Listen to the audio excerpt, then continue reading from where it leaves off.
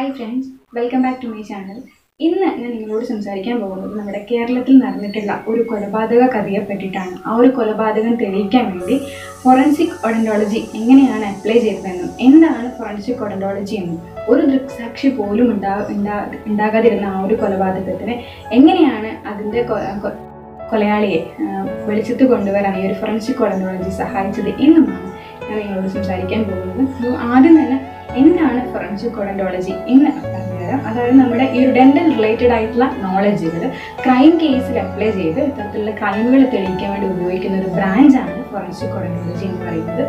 അപ്പം ഈ ഒരു ഫോറൻസിക് ഓഡന്റോളജി എന്നുള്ള പറയുന്ന കോഴ്സിനെ പറ്റി ഡീറ്റെയിൽ ആയിട്ടും അത് ഉള്ള കോളേജിനെ പറ്റി ഡീറ്റെയിൽ ആയിട്ടൊക്കെ ഒരു ആർട്ടിക്കിൾ നമ്മുടെ വെബ്സൈറ്റിലുണ്ട് ഞാൻ അതിന്റെ ലിങ്ക് ഡിസ്ക്രിപ്ഷൻ ബോക്സിൽ കൊടുക്കുന്നുണ്ട് നിങ്ങൾക്ക് അതിനെപ്പറ്റി ഡീറ്റെയിൽ ആയിട്ട് വായിക്കാം. അപ്പം ഈ ഒരു കൊലപാതക കഥ നമ്മുടെ കേരളത്തിലെ കോഴിക്കോട് ജില്ലയിൽ രണ്ടായിരത്തി എട്ടിലാണ് നടന്നത്. നമ്മുടെ സംസ്ഥാന പോലീസ് മേധാവിയായിട്ടുള്ള ജേക്കബ് പുന്നൂർ സാറ് മാതൃഭൂമിയുടെ ഒരു സ്റ്റോറി പരമ്പരയിൽ ഈ ഒരു കൊലപാതക കഥയെ പറ്റി ഡീറ്റെയിൽ ആയിട്ട് പറയുന്നുണ്ട്. അപ്പം ഞാൻ ഈ ഒരു കഥയിലേക്ക് കിടക്കാം. അതായത് വളരെ വേദനാജനകമായിട്ടുള്ള കഥയാണ്. അതായത് എട്ട് വയസ്സ് പോലും ആകാത്തൊരു പെൺകുട്ടിയെ ലൈംഗിക വൈകൃതത്തിന് ഇരയാക്കി കൊലപ്പെടുത്തിയ ഒരു കൊലയാളിയുടെ കഥയാണിത്. ഞാനിത് പറയുന്നത് എങ്ങനെയാണ് ഒരു കേസ് തെളിയിച്ചിരിക്കുന്നത്? നമ്മുടെ കേരള പോലീസും അതുപോലെ തന്നെ ഡോക്ടേഴ്സും ഇൻവോൾവ് ചെയ്ത് എങ്ങനെയാണ് ആ ഒരു കേസ് തെളിയിച്ച് കൊണ്ടുവന്നത് എന്ന് പറയാൻ വേണ്ടിയിട്ടാണ് ഒരു സ്റ്റോറി നിങ്ങൾക്ക് മുന്നിൽ പറയുന്നത്. അപ്പം ഈ ഒരു സ്റ്റോറി എന്താണെന്ന് വെച്ച് കഴിഞ്ഞാൽ ആ ഒരു കോഴിക്കോടിലത്തെ ഗ്രാമത്തിൽ സാധാ രീതിയിൽ സ്കൂളുകൾ ക്ലാസ്സുകൾ ഇങ്ങനെ നടന്നുകൊണ്ടിരിക്കുകയാണ്. അപ്പോൾ സ്കൂൾ ഇന്റർവെല്ലായി കുട്ടികളൊക്കെ പുറത്തേക്ക് ഇറങ്ങി കളിക്കുകയാണ്. അപ്പോൾ ഇന്റർവെൽ കഴിഞ്ഞപ്പോൾ സാധാരണ രീതിയിൽ കുട്ടികളൊക്കെ ക്ലാസ്സിലേക്ക് തിരിച്ചു കയറി ക്ലാസ് നടന്നുകൊണ്ടിരിക്കുകയാണ്. പെട്ടെന്നാണ് മൂന്നാം ക്ലാസ്സിലുള്ള ഒരു കുട്ടിയെ ക്ലാസ്സിൽ തിരിച്ചു കയറിയിട്ടില്ല എന്ന് അധ്യാപകർ ശ്രദ്ധിക്കുന്നത്. അപ്പോൾ തന്നെ അധ്യാപിക ബാക്കിയുള്ള അധ്യാപകരെ അറിയിച്ചിട്ടുണ്ടായി ഈ ഒരു ന്യൂസ് എന്നിട്ട് അവർ കുട്ടിയെ കാണാതായിട്ടുണ്ട് എന്ന് മനസ്സിലാക്കുകയും പിന്നീട് ചുറ്റുമുള്ള സ്ഥലങ്ങളിലൊക്കെ മുഴുവൻ മുഴു- മുഴുവൻ അന്വേഷണം നടത്തുകയും ചെയ്തു. ഈ ഒരു വാർത്ത നാട്ടുകാരൊക്കെ അറിഞ്ഞു തുടങ്ങിയപ്പോൾ നാട്ടുകാരും കൂടി ചുറ്റുമുള്ള കടക്കാരും ഒക്കെ ചേർന്ന് ആ ഒരു പ്രദേശം മുഴുവൻ കുട്ടിക്ക് വേണ്ടി തെരച്ചിലായി. വിവരം പോലീസിനെ അറിയിച്ചു. അപ്പം കുറച്ച് നിമിഷം മുന്നേ വരെ കുട്ടികളോടൊത്ത് കളിച്ചിരുന്ന പെൺകുട്ടിയാണ് പെട്ടെന്ന് മാറുന്നത്. ആളുകൾ ആളുകളൊക്കെ പരിഭ്രാന്തരായി കുട്ടി അന്വേഷിച്ചുകൊണ്ടിരിക്കുകയാണ്. പെട്ടെന്നാണ് ആ ഒരു ഇത് ശ്രദ്ധയിൽപ്പെട്ടത്. അതായത് സ്കൂളിന്റെ അടുത്തുള്ളൊരു വീട്ടിന്റെ പുറകു വശത്തുള്ള ഒരു കോണിപ്പടിയുടെ പലകയുടെ മുകളിൽ ഒരു ചാട്ടി കെട്ടിയിട്ട് ഒരു കുട്ടിയുടെ മൃതദേഹം കാണുകയാണ് ഉണ്ടായത്. അപ്പം ഈ കുട്ടിയുടെ മൃതദേഹം ഒരാൾ കാണുകയുണ്ടായി. അപ്പം അത് എടുത്ത് നോക്കുമ്പോൾ ആ കുട്ടിയെ കുട്ടിയുടെ മൃതദേഹം കണ്ടെടുക്കുകയുണ്ടായി.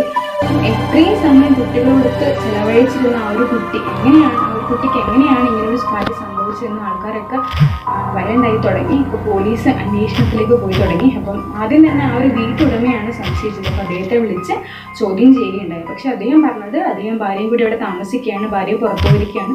അതിനുശേഷം താനും വീട് കൂട്ടി പുറത്തു പോയതാണ്. ഈ ഒരു ന്യൂസ് അറിഞ്ഞതിന് ശേഷമാണ് താൻ തിരിച്ചു വന്നതെന്നും തനിക്ക് ഈ ഒരു കേസിൽ യാതൊരു തരത്തിലുള്ള ബന്ധം ഇല്ല എന്നുമാണ് അദ്ദേഹം പറയുന്നുണ്ടായത് അപ്പോൾ പോലീസിന് അയാളൊരു പ്രാഥമിക സംശയം ഉണ്ടായിരുന്നുവെങ്കിൽ പോലും അയാളോട് പറയുന്ന മൊഴികളൊക്കെ വളരെ പോലീസ് ചോദിക്കുന്ന എല്ലാ കാര്യത്തിലും കൃത്യം കൃത്യമായിട്ടുള്ള മറുപടി ഉണ്ടായത് കൊണ്ട് തന്നെ അദ്ദേഹത്തെ ഒരു ഇതാക്കാൻ പറ്റിയില്ല. പിന്നീട് അതായത് ജോ പിന്നീട് ഈ ഒരു കേസ് നമ്മുടെ ജെയ്സൺ കെ അബ്രഹാം എന്ന് പറയുന്ന ഒരു ഇന്റലിജന്റ് ആയിട്ടുള്ള പോലീസ് ഓഫീസറുടെ നേതൃത്വത്തിൽ അന്വേഷിച്ചു തുടങ്ങി. അദ്ദേഹം പിന്നീട് അന്യ സംസ്ഥാന തൊഴിലാളികളെയും തൊഴിലാളികളെയും യാചകരെയും ഒക്കെ കേന്ദ്രീകരിച്ച് പോലീസ് കേസ് അന്വേഷണം തുടങ്ങി. പക്ഷേ ഒരു ഒന്നും കണ്ടുപിടിക്കാൻ പറ്റിയില്ല. പിന്നീട് നമുക്കറിയാം ഇത്തരത്തിലൊരു ആ കുട്ടിയുടെ മൃതദേഹം പോസ്റ്റ്മോർട്ടം ചെയ്യുന്ന സമയത്ത് ഈ ഒരു ഇന്റലിജന്റ് ആയിട്ടുള്ള പോലീസ് ഉദ്യോഗസ്ഥർ പോയിട്ട് ആ ഒരു മൃതദേഹം ശ്രദ്ധിക്കുകയുണ്ടായി. അപ്പോഴാണ് ആ, ഒരു പാട് ആ ഒരു ശ്രദ്ധ ആ ഒരു ഒരു കാര്യമാണ് ശ്രദ്ധിച്ചത്. അപ്പം അദ്ദേഹം കുട്ടിയെ പുറമെ നിന്ന് നോക്കുമ്പോൾ ശ്വാസം മുട്ടിച്ച് കൊന്ന രീതിയിലുള്ള തെളിവ് ഒരു ലക്ഷണങ്ങൾ തോന്നിയത് കൊണ്ട് തന്നെ അദ്ദേഹം കുട്ടിയുടെ വായ ശ്രദ്ധിച്ചു നോക്കി അപ്പോഴാണ് അദ്ദേഹം മനസ്സിലാക്കിയത് ആ കുട്ടിക്ക് ബാക്കിയുള്ള ആൾക്കാരിൽ നിന്ന് വ്യത്യസ്തമായിട്ടുള്ള ഒരു ദന്ത നിരയാണ് ആ കുട്ടിക്കുള്ളത് അതായത് ഒറ്റൊരു പല്ല് അതായത് അപ്പർ സെൻട്രൽ ഇൻസിസർ പുറത്തേക്ക് പൊന്തി നിൽക്കുകയും ബാക്കി എല്ലാ പല്ലുകളും നമ്മുടെ ഒക്ലൂസൽ പ്ലെയിന്റെ ഉള്ളിലേക്ക് മാറി നിൽക്കുന്ന തരത്തിലുള്ള ഒരു പ്രത്യേക തരത്തിലുള്ള ദന്തനിരയാണ് ഈ കുട്ടിക്കുള്ളതെന്ന് ജെയ്സൺ കെ. അബ്രഹാം എന്നുള്ള ആ ഉദ്യോഗസ്ഥൻ ശ്രദ്ധിച്ചു. അതുകൂടാതെ അയാൾ ഇപ്പം തന്നെ ജീവിച്ചപ്പോൾ ഇത്തരത്തിൽ ഉള്ള ഒരു കുട്ടിയിൽ നിന്നൊരു കടി ഏൽക്കുകയാണെങ്കിൽ ആ ഒറ്റ കടി മാത്രമേ വീഴുകയുള്ളൂ എന്നും. ബാക്കി പല്ലിന്റെ കടി വീഴാൻ താരതമ്യേന സാധ്യത കുറവാണെന്നും അദ്ദേഹം മനസ്സിലാക്കുകയും ചെയ്തു. പിന്നീട് കുറച്ചുകൂടി അദ്ദേഹം ശ്രദ്ധിച്ചപ്പോഴാണ് ഭാഗ്യമെന്ന് പറയട്ടെ ഒരു കാര്യം കൂടി ശ്രദ്ധിച്ചത്. ആ ഒറ്റ പല്ലിന്റെ നടുവിലായിട്ട് ഒരു കുനിപ്പുണ്ടായിരുന്നു എന്നിട്ടും അദ്ദേഹം ശ്രദ്ധിച്ചു. അപ്പൊ അദ്ദേഹം അത് ശ്രദ്ധിച്ചു. ഇത് കേസിന്റെ അന്വേഷണത്തിലേക്ക് ഒന്നും കൊണ്ടുവന്നില്ല. അദ്ദേഹം അത് വിട്ടു കളഞ്ഞു.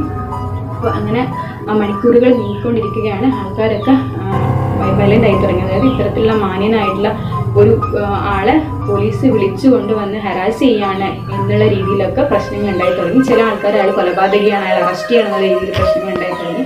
അപ്പം ഒരു ദൃക്സാക്ഷി പോലും ഇല്ലാത്ത ഈ ഒരു കേസ് പോലീസിന് വലിയൊരു തലവേദനയായി മാറി തുടങ്ങി എന്ന് വേണം പറയാം പിന്നീട് അതിനുശേഷം അതിന്റെ ആ ഒരു കേസിലെ കേസിന്റെ നിർണായകമായിട്ടുള്ള തീരുമാനം എന്ന് പറയാം പോലീസ് എടുത്തത് എന്താണെന്ന് വെച്ചാൽ ആ ഒരു പ്രതിയുടെ പ്രതിയെ വീണ്ടും ചോദ്യം ചെയ്തു തുടങ്ങി. പക്ഷെ എങ്കിൽ പോലും ആ പ്രതി തിരിച്ച് ഒരു തരത്തിലുള്ള എനിക്ക് ഒരു ബന്ധമില്ല എന്ന രീതിയിൽ തന്നെയാണ് മുന്നോട്ട് പോയിക്കൊണ്ടിരിക്കുന്നത്. അപ്പോൾ അദ്ദേഹം അവരെന്ത് തീരുമാനിച്ചു എന്ന് വെച്ചാൽ കുട്ടി ആ ഒരു വീട്ടുടമയുടെ ശരീരം പരിശോധിക്കാൻ വേണ്ടി അവർ തീരുമാനിച്ചു. എന്തെങ്കിലും തരത്തിലുള്ള പാടുകൾ അദ്ദേഹത്തിന്റെ ശരീരത്തിൽ അവശേഷിക്കുന്നുണ്ടോ എന്നുള്ള രീതിയിൽ അതായത് ലൊക്കാർഡ് പ്രിൻസിപ്പളിന്റെ ബേസിൽ അവർ അന്വേഷിച്ചു തുടങ്ങാൻ വേണ്ടി തീരുമാനിച്ചു. അപ്പോൾ പിറ്റേന്ന് പകൽ വിളിച്ചിരിക്കുന്ന അയാളുടെ ശരീരം പരിശോധിച്ചു. ബേസിൽ ക്യാബ്രഹാമിന്റെ നേതൃത്വത്തിൽ അപ്പോഴാണ് ഭാഗ്യം എന്ന് പറയട്ടെ അവർ ശ്രദ്ധിച്ചത്. അയാളുടെ ഇടത് കൈയുടെ തള്ളവിരലിന് കുറച്ചൊരു പിന്നിലായിട്ട് ഒരു പോയിന്റ് സെവൻ സെന്റിമീറ്റർ രീതി വലിപ്പത്തിൽ ഒരു മുറിവ് അദ്ദേഹം ശ്രദ്ധിച്ചത്. ആ മുറിവ് ഒരു വളഞ്ഞ രീതിയിലായിരുന്നു. കൂടാതെ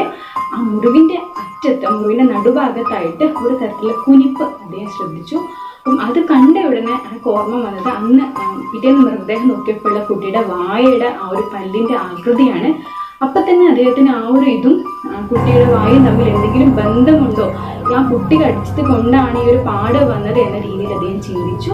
അപ്പോൾ ഈ ഒരു കേസ് പോസ്റ്റ്മോർട്ടം നടത്തിയത് ഡോക്ടർ സുജിത് ശ്രീനിവാസ് ആയിരുന്നു അദ്ദേഹത്തോട് ഇയാൾ ഒരു കാര്യം പറയുകയും പിന്നീട് കോഴിക്കോട് ഡെന്റൽ കോളേജിലെ പ്രിൻസിപ്പൾ ആയിരുന്ന ഡോക്ടർ ഐപ്പു വർഗീസിന്റെ നേതൃത്വത്തിൽ അദ്ദേഹം വന്ന് കുട്ടിയുടെ വായ ചെക്ക് ചെയ്തു. അപ്പം അദ്ദേഹം ഡെന്റിസ്റ്റ് അഭിപ്രായപ്പെട്ടു. അതായത് ഈ ഒരു കുട്ടിക്ക് യുണീക്ക് ആയിട്ടുള്ള നിരയാണുള്ളതെന്ന് അഭിപ്രായപ്പെട്ടു. പിന്നീട് ഡോക്ടർ ഐപ്പു വർഗീസ് ആ ആ വീട്ടുടമയുടെ ശരീരത്തിലെ പാടുകൾ നോക്കി. അപ്പം അദ്ദേഹം ഈ ഒരു കേസിനെ ശാസ്ത്രീയമായിട്ട് എങ്ങനെ തെളിയിക്കാം എന്ന് ചിന്തിച്ചു. അപ്പം അദ്ദേഹം ചെയ്തത് എന്താണെന്ന് വെച്ച് കഴിഞ്ഞാൽ കുട്ടിയുടെ ഓറൽ കാവിറ്റിയുടെ ഒരു മോഡൽ ഉണ്ടാക്കി. പ്ലാസ്റ്റർ ഓഫ് പാരീസ് വെച്ചിട്ട് ഒരു മോഡൽ ഉണ്ടാക്കി. അതിനുശേഷം അതേപോലെ തന്നെ പ്ലാസ്റ്റർ ഓഫ് പാരീസ് വെച്ചിട്ട് ആ അദ്ദേഹത്തിന്റെ മുറിവിന്റെ ഒരു മോഡലും ഉണ്ടാക്കി. അപ്പം എന്നിട്ട് ഈ രണ്ട് മോഡലിന്റെയും മീശോഡിസ്റ്റൽ ഡയമെൻഷനും കാര്യങ്ങളൊക്കെ കൃത്യമായ രീതിയിൽ പരിശോധിച്ചപ്പോഴാണ് മനസ്സിലായത് ഈ ഒരു മുറിവ് കുട്ടി കടി കുട്ടി കടിച്ചത് കൊണ്ട് ഉണ്ടായതാണ് എന്ന് മനസ്സിലായി. അതാണ് ആ ഒരു കേസിന്റെ വഴിത്തിരിവിലേക്ക് മാറിയത്. എങ്ങനെ ഇതൊരു തെളിവാക്കി മാറ്റാം? ഇതിൽ എങ്ങനെ തെളിവെടുപ്പ് നടത്താമെന്നുള്ളതായിരുന്നു പിന്നീടുള്ള പ്രശ്നം. ഞാൻ ഡോക്ടർ സുജിത് ശ്രീനിവാസുമായി സംസാരിച്ച ശേഷം ഞാൻ നേരെ തൊട്ടടുത്തുള്ള കോഴിക്കോട് ഡെന്റൽ കോളേജിലേക്ക് പോയി. അവിടുത്തെ പ്രിൻസിപ്പൾ അന്ന് ഡോക്ടർ ഐപ്പ് വർഗീസായിരുന്നു. അദ്ദേഹം അദ്ദേഹവുമായിട്ട് ഞാൻ ഈ കേസ് സംസാരിച്ചു. മോർച്ചറിയിൽ വന്ന് അദ്ദേഹം കുട്ടിയുടെ മൗത്ത് പരിശോധിച്ചതിന് ശേഷം ഒരു കാര്യം എന്നോട് പറഞ്ഞു. ഇത് this is a unique mouth ഇതൊരു ഒരു ഒരു അന്യാദൃശ്യമായിട്ടുള്ള ഒരു ഒരു ദന്തനിരയാണ്. ഇത്തരത്തിലൊരു ദന്തനിര മറ്റൊരാൾക്കും ഉണ്ടാവാൻ സാധ്യതയില്ല. നമുക്ക് എന്തായാലും അദ്ദേഹം എന്റെ റിക്വസ്റ്റ് പ്രകാരം പ്ലാസ്റ്റർ ഓഫ് പാരീസ് ഉപയോഗിച്ചുകൊണ്ട് കുട്ടിയുടെ ഓറൽ ക്യാവിറ്റിയുടെ ഒരു പ്ലാസ്റ്റർ മോഡൽ തയ്യാറാക്കി. അദ്ദേഹത്തിന്റെ പിന്നെ കയ്യിലെ മുറിവ് ഞാൻ ഡോക്ടർ ഐപ്പ് വർഗീസിന് കാണിച്ചു അദ്ദേഹം ആ മുറിവ് പരിശോധിച്ചതിന് ശേഷം അതിന്റെ ഒരു പ്ലാസ്റ്റർ മോഡൽ പ്ലാസ്റ്റർ ഓഫ് പാരീസും പ്ലാസ്റ്റിക്കൊക്കെ ചുരണ്ടിയിട്ട് ഒരു ഒരു പ്രത്യേക മെത്ത മെത്തേഡ് ഉപയോഗിച്ചുകൊണ്ട് അതിന്റെ ഒരു മോഡൽ അദ്ദേഹം തയ്യാറാക്കി. മുറിവിന്റെ മോഡലും അതുപോലെ തന്നെ ഈ പിന്നെ കുട്ടിയുടെ ഓറൽ ക്യാവിറ്റിയുടെ ആ പല്ലിന്റെ മോഡലും കൂടി എടുത്ത് അതിന്റെ മെസ്സിയോ ഡിജിറ്റൽ ഡയമെൻഷൻസ് എല്ലാം അളന്ന് പരിശോധിക്കുമ്പോൾ അത്ഭുതകരമായിട്ടൊരു കാര്യം മനസ്സിലായി. ഈ പല്ലുകൊണ്ട് ഏറ്റ മുറിവാണ് ഇദ്ദേഹത്തിന്റെ കയ്യിൽ കാണപ്പെട്ട ഈ മുറിവ് പിന്നീട് ആ കൊലയാളിയെ ചോദ്യം ചെയ്തു കൂടി അപ്പോൾ തെളിവുകൾ നേരത്തെ അയാളെ ചോദ്യം ചെയ്തപ്പോൾ അയാൾ കുറ്റം സമ്മതിക്കുകയുണ്ടായി. അയാൾ പറഞ്ഞത് സ്കൂളിന്റെ ഇന്റർവെൽ ടൈമത്ത് ആ ഒരു വീട്ടിൽ പേരൊക്കെ വരണം കുട്ടികളെല്ലാം പേരക്ക കഴിക്കാൻ വരാറുണ്ട്. അതുപോലെ ഈ കുട്ടി വന്നു. വീട്ടിൽ വീട്ടിന്റെ അകത്ത് ഒരുപാട് പേരക്ക എടുത്ത് അത് തരാമെന്നും പറഞ്ഞ് കുട്ടിയെ അകത്ത് കൂട്ടിക്കൊണ്ടുപോയി കുട്ടിയെ പീഡിപ്പിക്കുകയാണ് ഇയാൾ ചെയ്തത്. അപ്പം ഈ ഒരു വിവരം താൻ അമ്മയോടും പാരൻസിനോടൊക്കെ പറയുന്ന കുട്ടി പറഞ്ഞപ്പം കുട്ടിയെ ശ്വാസം മുട്ടിച്ച് കൊല്ലുകയാണ് ഇയാൾ ചെയ്തിട്ടുണ്ടായത്. ഈ ഒരു കേസ് നടന്നിട്ടുണ്ട്. അങ്ങനെയാണ് ഒരു കൊലപാതകം നടന്നത്. അപ്പം ഒരു ദൃക്സാക്ഷി പോലും ഇല്ലാതെ തെളിക്കപ്പെടാതെ പോകാമായിരുന്ന ഈ ഒരു കേസ് ഫോറൻസിക് ഒഡന്റോളജിയുടെ ഹെൽപ്പോടുകൂടി ഇങ്ങനെയാണ് ഈ കേസ് തെളിയിച്ചതും. പിന്നീട് അദ്ദേഹത്തിന് ശിക്ഷ വാങ്ങിക്കൊടുക്കുകയും ചെയ്യുകയുണ്ടായി. ഇത്തരത്തിൽ കേരളത്തെ ഞെട്ടിച്ച ഒരു കൊലപാതകത്തെ സമൂഹത്തിൽ പകൽ മായനായി ജീവിക്കുന്ന അദ്ദേഹത്തെ പുറ അത് അയാളെ പുറത്തു കൊണ്ടുവരാൻ വേണ്ടിയിട്ട് ഈ ഒരു ഫോറൻസിക് ഒഡന്റോളജി എങ്ങനെയാണ് അപ്ലൈ ചെയ്തത് എന്നാണ് ഈ ഒരു കഥ വ്യക്തമാക്കുന്നത്. അപ്പോൾ നമുക്കറിയാം നമ്മുടെ കുട്ടുമുള്ള നമ്മുടെ ചുറ്റുമുള്ള കുട്ടികൾ സുരക്ഷിതരല്ലാതായി മാറിക്കൊണ്ടിരിക്കുന്ന ഒരു കാലത്താണ് നമ്മളുള്ളത്. അപ്പം നമുക്ക് അവരുടെ സുരക്ഷിതത്തിന് വേണ്ടിയിട്ടുള്ള നിയമങ്ങൾ നല്ല ഒരുപാട് നിയമങ്ങൾ ഇനിയും കൊണ്ടുവരാൻ വേണ്ടി പ്രയത്നിക്കാം.